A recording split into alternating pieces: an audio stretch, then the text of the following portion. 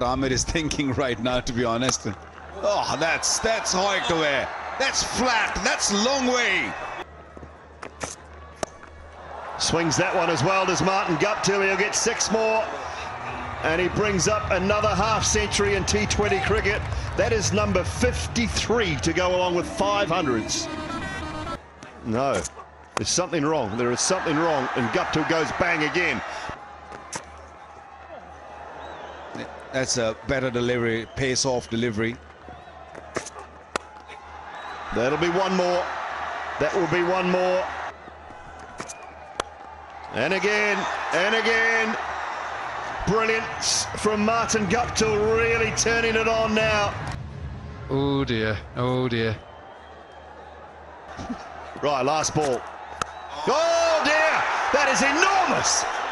Wow, that sounded good. Hasn't come down yet, has now. Look at the way he got under the ball.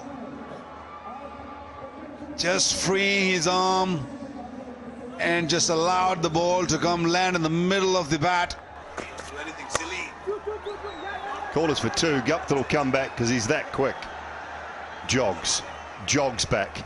Mid wicket and anything outside the off stump is going to look to go extra cover. Oh, it's clever, really clever. Musa goes short. Guptill gives it the uppercut.